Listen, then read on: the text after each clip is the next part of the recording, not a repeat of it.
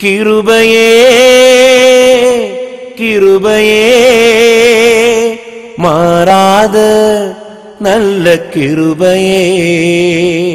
உங்க கிருபைதான் என்னை தாங்குகின்றது. உங்க கிருபைதான் என்னை நடத்துகின்றது. உங்க கிருபைதான் என்னை தாங்குகின்றது. உங்க கிருபைதான் என்னை நடத்துகின்றது.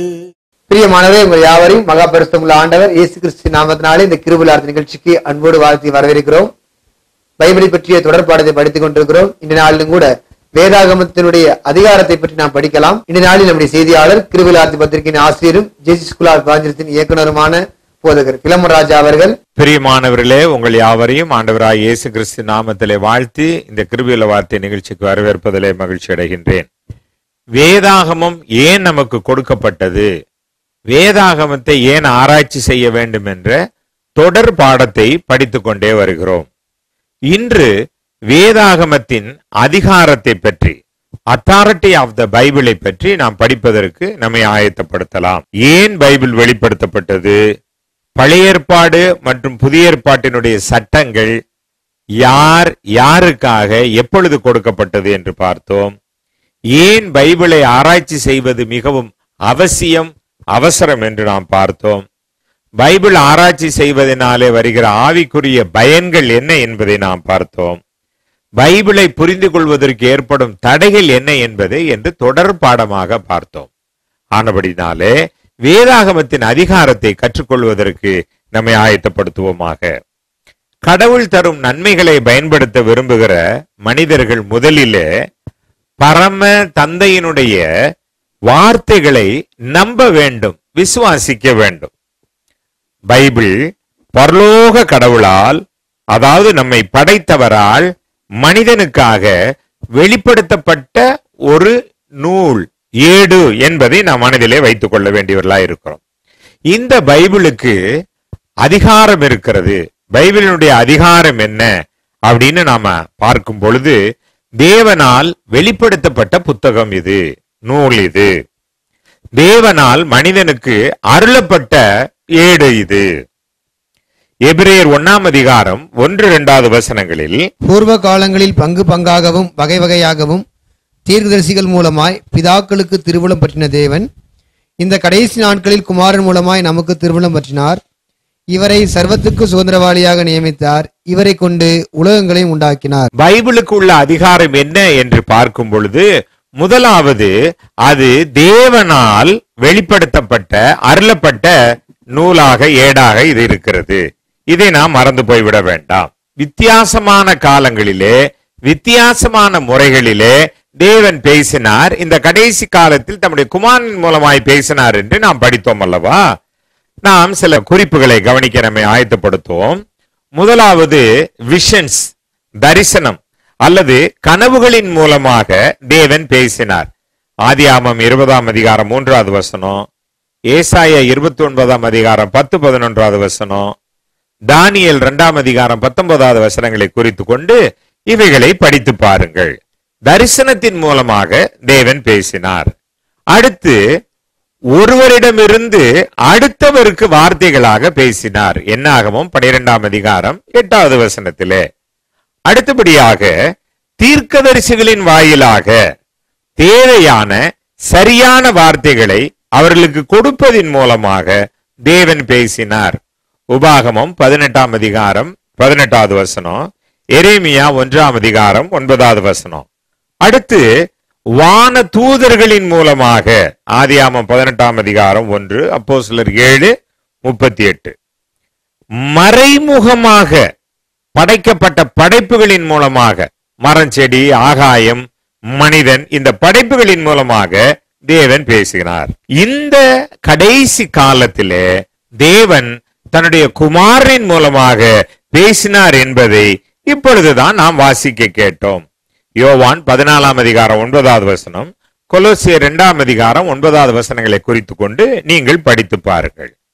இந்த இயேசு கிறிஸ்துவின் மூலமாக அவர் ஏன் பேசினார்? அவர் பேச வேண்டியதனுடைய அவசியம் என்ன? இயேசுவுக்கு எப்படி அந்த அதிகாரம் கிடைத்தது? மனிதன் எப்படி வாழணும்? பரலோகத்துக்கு எப்படி வரணும்னு சொல்லி கொடுக்கிற அந்த அதிகாரம் எப்படி அவருக்கு கிடைத்தது? அவர் வார்த்தைக்கு ஒன்று கொருந்தியர் பதினைந்தாம் அதிகாரம் ஒன்றிலிருந்து நான்கு வசனங்களை குறித்துக் கொள்ளுங்கள்.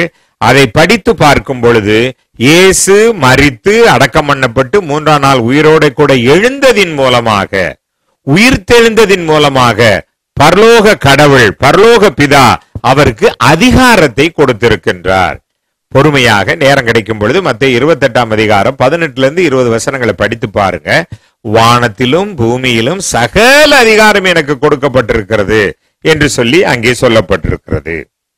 அருளப்பட்டது வெளிப்படுத்தப்பட்டது என்றால் ரெண்டு திமுத்தை மூன்றாம் அதிகாரம் பதினாறாவது வசனம் ரெண்டு பேதரு இரண்டாம் அதிகாரம் இருபது இருபத்தொன்னாவது வசனங்களை படித்து பார்க்கும் பொழுது பரிசுத்த மனிதர்களின் மூலமாக பரிசுத்த ஆவியானவராலே அவர்கள் ஏவப்பட்டு பேசினார்கள். அவர்கள் மூலமாக வெளிப்படுத்தப்பட்டது என்று தெளிவாக சொல்லப்பட்டிருக்கிறது. எனக்கே நாம் இவ்வுலக மனப்பான்மை பெற்றுக்கொள்ளவில்லை. மாறாக பரிசுத்த ஆவியை கடவுளிருந்து பெற்றுக்கொண்டிருக்கிறோம் என்று பவுல் சொல்லுகிறார். அவர் மூலமாக வெளிப்படுத்தப்பட்ட இந்த வார்த்தைகளாக இருக்கிறது. ஆவிக்குரியவர்களுக்கு ஆவிக்குரியவைகளை பற்றி விளக்கி கூறும்போது நாம் மனித நாணத்தால் கற்றுக்கொண்ட வார்த்தைகளை பேசுவதில்லை என்று சொல்லி பவுல் சொல்லுகிறார். அப்படி என்றால் இந்த வேதம் பரிசுத்த ஆவியானவரின் மூலமாக வெளிப்படுத்தப்பட்டது. அடுத்த முக்கியமான விஷயம் இந்த பைபிளுக்கு அப்படி என்ன அதிகாரம் இருக்குது? ஆத்துமாவின் மீது பரலோகத்திற்கு ஒருவர் செல்வதற்கு மோட்சத்தை அடைவதற்கு சொல்லிக் கொடுக்க இதற்கு என்ன அதிகாரம் இருக்கிறது? அருளப்பட்டவைகள் என்பதற்கு நிறைய ஆதாரங்கள் இருக்கிறது. நான் அவைகளை சொல்லுகிறேன் கவனித்துக் கொண்டே வாருங்கள் குறித்துக் கொள்ளுங்கள். முதலாவது பைபிளுக்குள்ளே ஒரு ஒற்றுமை இருக்கிறது ஒரு ஐக்கியம் இருக்கிறது. கிமு ஆயிரத்தி நானூறிலிருந்து கிபி தொண்ணூத்தி ஆறு வரை ஏறக்குறைய ஆயிரத்தி ஐநூறு ஆண்டுகால இடைவேளையில் நாற்பது வித்தியாசப்பட்ட நபர்களாலே பேசப்பட்ட எழுதப்பட்ட ஒரு நூல் ஒரு ஏடுதான் இந்த பைபிள். இது வேறுபட்ட காலங்களிலே வேறுபட்ட இடங்களிலே இருந்து அவர்கள் எழுதினார்கள். ஆனாலும் இதனுடைய ஐக்கியம் என்னவென்றால் துவக்கம் முதல் கடைசி வரைக்கும் ஓர் நூல் பிடித்ததை போல ஒரே ஒரு செய்தியை தொடர்ந்து சொல்லுகிறது. ஒருவர் வருகிறார் வருகிறார் வருகிறார் என்று சொல்லுகிறது. அவர் வந்து விட்டார் என்று சொல்லுகிறது. அவர் மீண்டும் வரப்போகிறார். இதுதான் வேதாகமத்தினுடைய மைய புள்ளியாக கோடாக இருக்கிறது.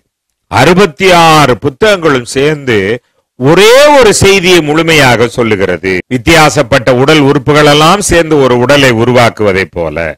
மத்தேயு மார்க்கு லூக்கா யோவான் என்ற நான்கு வேறுபட்ட ஏடு நூல் நற்செய்தி நூல்கள் ஒரே செய்தியை முழுமையாக அறிவிக்கின்றது. பிரசங்கி பன்னிரெண்டாம் அதிகாரம் பதிமூன்றாவது வசனம். காரியத்தின் கடைத்தொகையை கேட்போமாக தேவனுக்கு பயந்து அவர் கற்பனைகளை கைக்கொள். எல்லா மனுஷன் மேலும் விழுந்த கடமை இதுவே. மனிதன் பாவ மன்னிப்பை பெறுவதற்கு கடவுளுடைய வார்த்தையை கேட்டு அவருக்கு அஞ்சு கீழ்ப்படிய வேண்டியது அவசியமாக இருக்கிறது. அதற்காக தான் இந்த வேத புத்தகம் நமக்கு வெளிப்படுத்தப்பட்டது என்பதை நாம் மறந்து போய்விட வேண்டாம்.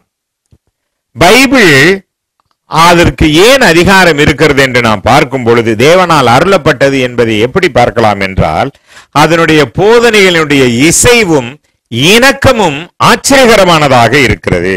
இயேசு கிறிஸ்துவின் மூலமாகவே மனித இனத்தின் பாவ விடுதலை பரலோக தந்தையினாலே திட்டமிடப்பட்டது.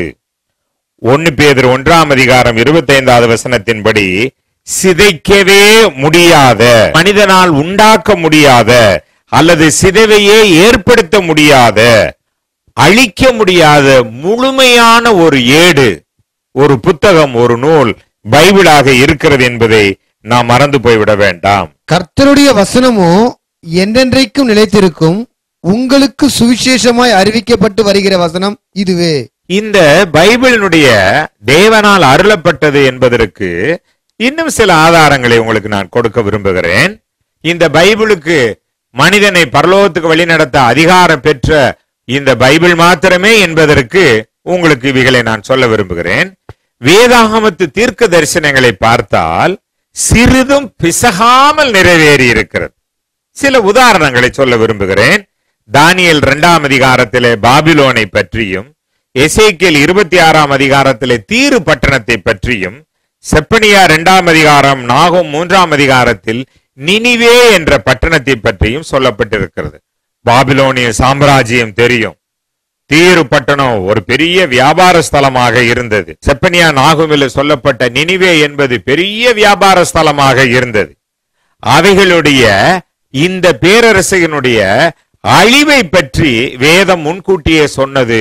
அது அப்படியே நிறைவேறினது. சுத்தி தீவா இருந்தாலும் நடந்து வந்து உன்னை ஒன்றுமில்லாமல் ஆக்கி போடுவார்கள் என்று சொன்னது அப்படியே நிறைவேறி இருக்கிறது என்பதை மறந்து போய்விட வேண்டாம்.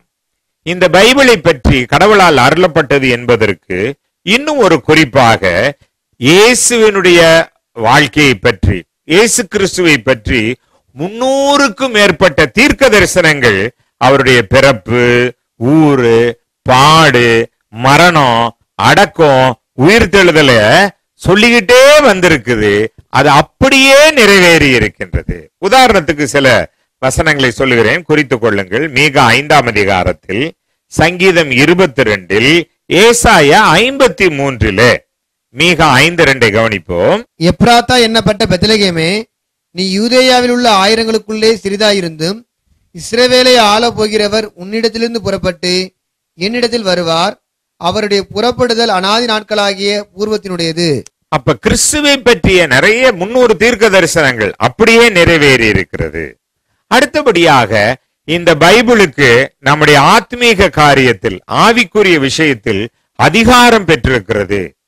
இந்த பைபிளை நம்புற யாரானாலும் சரிங்க பைபிளுக்கு மாத்திரம்தான் ஒரு ஆவிக்குரிய மனிதன் மேல அதிகாரம் செலுத்த உரிமை இருக்கிறது. வேறு யாருக்கும் அல்ல.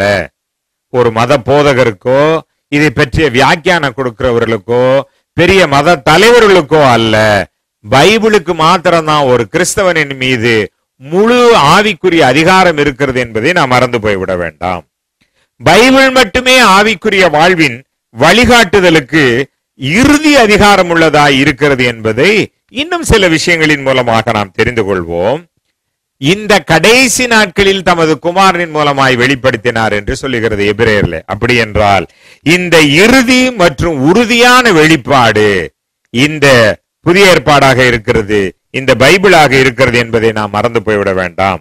ரெண்டு பேதர் ஒன்றாம் அதிகாரம் மூன்றாவது வசனத்தில் தம்முடைய மகிமையினாலும் காருண்யத்தினாலும் நம்மை அழைத்தவரை அறிகிற அறிவினாலே ஜீவனுக்கும் தேவபக்திக்கும் வேண்டிய யாவற்றையும் அவருடைய திவ்ய வல்லமையானது நமக்கு தந்தருனதுமன்றி கவனித்து பார்த்தீர்களா? ஜீவனுக்கும் நித்திய ஜீவனுக்கும் தேவையானது எல்லாம் இதுல இருக்கிறபடியால் இது மாத்திரமே நம்முடைய ஆவிக்குரிய வழிகாட்டியாய் இருக்கின்ற அதிகாரம் பெற்றதாய் இருக்கிறது யூதா மூன்றாம் வசனத்தில எல்லா காலத்துக்குமான தேவ பிள்ளைகளுக்கு ஒரு விசை ஒப்புவிக்கப்பட்டது என்று தெளிவாக சொல்லப்பட்டிருக்கிறது. யோவான் பதினாறாம் அதிகாரம் பதிமூன்றாவது வசனத்திலே ஆவியானவர் ஆவிக்குரியவைகளை ஆவியானவர் தந்த வசனத்தின்படியே வழி நடத்துகிறார் என்று தெளிவாக சொல்லப்பட்டிருக்கிறது. ஆனபடினாலே தேவ மக்களே இவ்வளவு விஷயங்களை இந்த பைபிளை பற்றி நாம் தெரிந்து கொண்டது ஏன் அப்படின்னா இந்த பைபிளுக்கு மாத்திரம்தான் நம்ம ஆத்மீக காரியத்தில் ஆவிக்குரிய காரியத்தில் நாம எதை செய்யணும் எதை செய்யக்கூடாதுன்னு சொல்ற முழு அதிகாரம் பெற்றதாய் தேவனாலே வெளிப்படுத்தப்பட்டு அருளப்பட்டு பரிசுத்தவான்களை கொண்டு பரிசுத்த ஆவியானவர் வெளிப்படுத்தினதாய் இருக்கின்றபடியால் நம்முடைய ஆவிக்குரிய முடிவுகளை எடுக்க வேதத்தை சார்ந்திருப்போம் வேதத்தை ஆராய்ச்சி செய்வோம். ஆம். நம்முடைய ஆவிக்குரிய வாழ்வினுடைய ஒரே இறுதியான உறுதியான அதிகாரம் பைபிள் மட்டுமே என்பதை மறந்து போய்விட வேண்டாம். யோவான் எட்டாம் அதிகாரம் முப்பத்தி ரெண்டாவது வசனம் இப்படி சொல்லுகிறது. சத்தியத்தையும் அறிவீர்கள் சத்தியம் உங்களை விடுதலையாக்கும். கவனித்தீர்களா? இந்த பேருண்மைகள் மாத்திரமே நம்மை விடுதலையாக்கும். இதை நினைவிலே கொண்டு இந்த வேதத்தின் அதிகாரத்திற்கு பிலிப்பு கற்றுக்கொண்ட வசனத்திற்கு கீழ்ப்படிந்ததைப் போல பவுல் கற்றுக்கொண்ட வசனத்திற்கு கீழ்ப்படிந்ததை போல நாமும் கற்றுக்கொள்கிற வசனங்களுக்கு கீழ்ப்படிந்து நடக்கிறவர்களாய் இருக்க உன்னதத்தின் தேவன் நமக்கு உதவி செய்வாராக. ஜெபம் செய்வோம். எங்களை நேசிக்கிற பரலோகத்தின் தூய பிதாவே இந்த அருமையான நாளுக்காக இந்த வேலைக்காக நாங்கள் நன்றி சொல்லுகிறோம். இன்று நாங்கள் கற்றுக்கொண்ட எங்கள் கைகளிலே இருக்கிற இந்த பைபிளுக்கு நீர் இவ்வளவு பெரிய அதிகாரத்தை கொடுத்திருக்கிறீர். அதுதான் எங்கள் ஆவிக்குரிய ஆத்தும பாதுகாப்புக்கு பயனுள்ளது தகப்பனே அதற்கு மாத்திர கீழ்ப்படுகிறவர்களாய் அதை நாங்கள் நன்றாக கற்றுக்கொள்ளவர்களாய் இருக்க எங்களுக்கு உதவி செய்து வழிநடத்த வேண்டும் என்று இயேசு கிறிஸ்துவின் நாமத்தினாலே ஜெபிக்கிறோம். ஜீவனுள்ள நல்ல பிதாவே. ஆமேன். அன்பானவர்களே இன்று நீங்கள் கேட்ட செய்தியிலிருந்து உங்களுக்கான கேள்விதான் பிரசங்கின் புஸ்தகம் பனிரெண்டாம் அதிகாரம் பதிமூன்றாம் வசனத்தின்படி மனிதன் மீது அதிகாரம் உடையது எது? மீண்டுமாக சொல்கிறேன் குறித்து வைத்துக் கொள்ளுங்கள். மனிதன் மீது அதிகாரமுடையது எது? இக்கேள்விக்கான பதில தபால் மூலமாகவோ தொலைபேசி வாயிலாகவோ எஸ்எம்எஸ் மூலமாகவோ எங்களுக்கு தெரியப்படுத்துங்கள். எல்லாம் அல்ல தேவன் நம்மை ஆசிரியத்து காத்து வழி நடத்துவாராக. நீங்கள் ரட்சிக்கப்பட வேண்டும் என்பது தேவனுடைய சித்தமாயிருக்கிறது. சரியான சத்தியத்தை கேள்விப்பட வேண்டும். சத்தியத்தை விசுவாசிக்க வேண்டும். பாவ வாழ்வை விட்டு மனம் திரும்ப வேண்டும். இயேசுவே தேவனுடைய குமாரன் என்று நாவினால் அறிக்கையிட வேண்டும். பாவ மன்னிப்புக்கென்று ஞானஸ்நானம் பெற வேண்டும். ரட்சிக்கப்படுகிறவர்களை கர்த்தர் அனுதினமும் சபையிலே சேர்த்து கொண்டு வந்தார். கிருபையுள்ள வார்த்தை தபால் பெட்டி எண் பதினைந்து அரசரடி மதுரை ஆறு இரண்டு ஐந்து பூஜ்ஜியம் ஒன்று ஆறு.